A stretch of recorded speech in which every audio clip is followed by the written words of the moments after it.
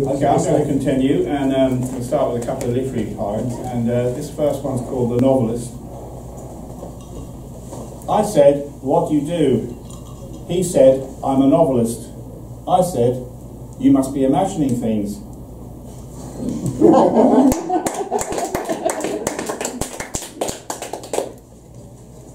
I, live in Folkestone, and um, as does Laura, who's here tonight. And uh, one of the things about Folkestone is it's had a history in the um, the greatest novel ever written, possibly Ulysses, um, was seized in Folkestone by customs in 1923, the third edition, I think, and um, customs. Uh, there were 500 copies in the third edition, and they took 499. Now the question is, anybody hopefully can work out that if you take 499 from 500, you're probably left with two or three, I think. But anyway, uh, what has happened to that one copy?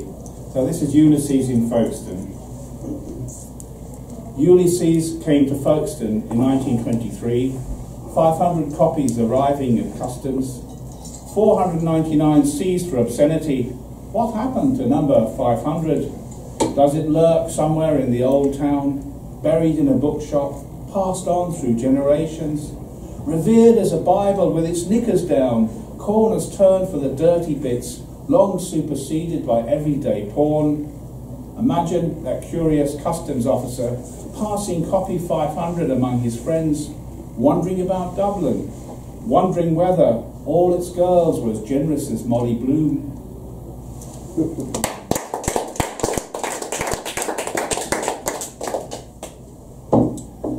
this is called Yeah, Yeah, Yeah. And um, when I was a, a little boy, um, having a Beatles jacket was a thing to have. So um, there you are, this is the kicking, starting off point for Yeah, Yeah, Yeah. Pride of my wardrobe, a cord Beatle jacket with gold buttons. Joy only partly diminished because I wasn't actually a Beatle. My grey school trousers, no match for my top. There lay the problem, a heart crowded with desires, the reality a slumbering suburb, where male readers kept their distance from working class heroes. I was halfway to heaven, happy to sign up when the call came. But the Beatles moved on, gave up Beatles jackets, gave up being Beatles. The dream was over. I woke in an office, numbed by regulations and routine. The starry world seemed very far away. No screaming fans as I boarded the train. I was in a restaurant recently, and uh, after we finished eating, the waiters brought us a couple of after eight mints. And if you think about it, um, we've had from landlines to smartphones, from somebody landing on the moon to space stations, and uh, probably from the invention of uh, a motor car till now, after eight mints have just been there. They've survived. And I, I guarantee if there's a nuclear holocaust, there'll be only two survivors. There'll be cockroaches and after eight mints. so, um, And Keith Richards. and Keith Richards eating after eight mints. so this is after eight. In after dinner moments or pre seduction warmth, where would lovers be without you?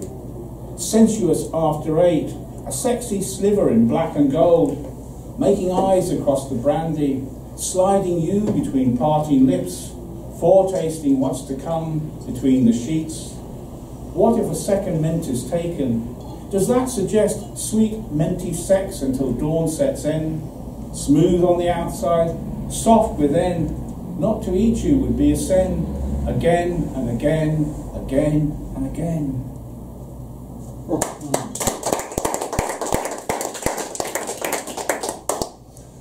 Went to a Catholic secondary modern called Thomas More School, and um, I was interested, therefore, to read that uh, Thomas More, who wrote poetry as well as being a senior politician and um, uh, disowned by Henry VIII, um, also was a very fine poet. And the last few days of his life, when he's locked in the Tower of London, all his books and papers removed from him, he continued to write poetry using a bit of uh, coal on the, on the wall of the cell. So uh, this is more in sorrow.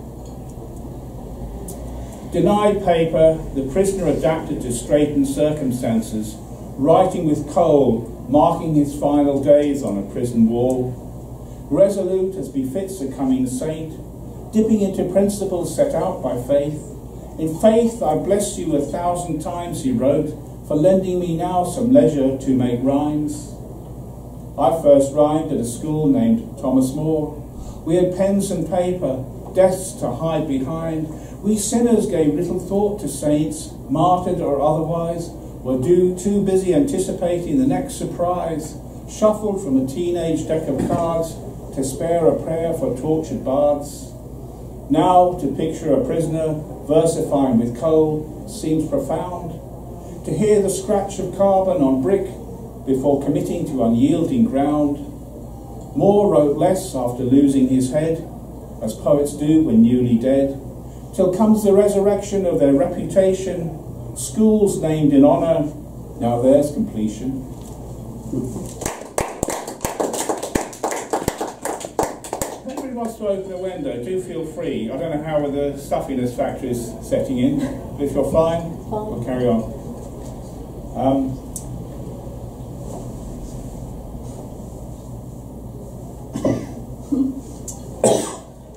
Refugee is living in fear every second of every day. Refugee is seeing your children killed, terrified for the ones that live. Refugee is realizing that escape is a place with no name. Refugee is fleeing with just a suitcase and your loved ones. Refugee is losing all you own, your home, its memories. Refugee is giving your money to a gangster, letting that gangster risk your life in a leaky boat. Refugee is the jubilation of survival as you scrabble onto dry land. Refugee is the kindness of islanders offering shelter and warmth. Refugee is continuing your journey on a pitiless road, bullet faced men guarding razor wire fences. Refugee is watching a continent pull up its drawbridges. Refugee is freezing camps in winter, all dignity stripped away. Refugee is wicked politicians peddling a currency of hate. Refugee is the miracle of completing the obstacle course. Refugee is being lifted by strong hands, words soothing as balm. Welcome, friend, welcome home, come share our land.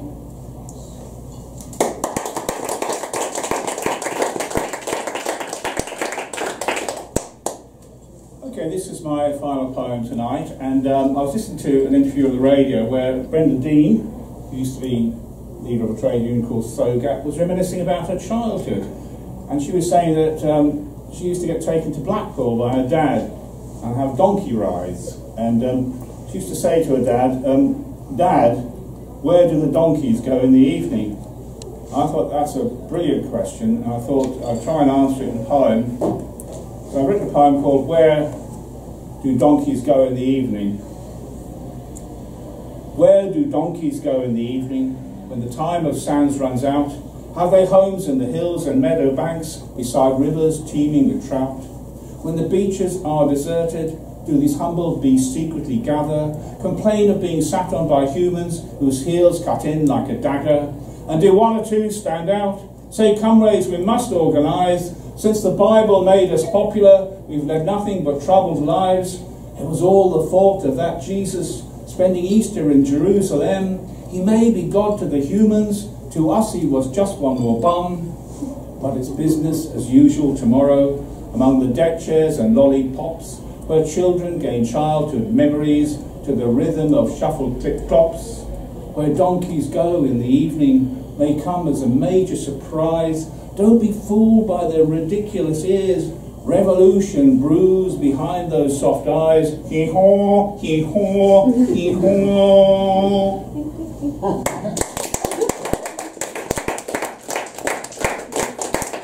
Are they wearing the underpants? Sorry? The donkeys wearing the underpants? They may well be, yes. yeah, thank you. Um, anyway, um, on that slightly uh, unpleasant note, I don't know what Laura said, but the sound of the donkey impression, I'd like to hand over now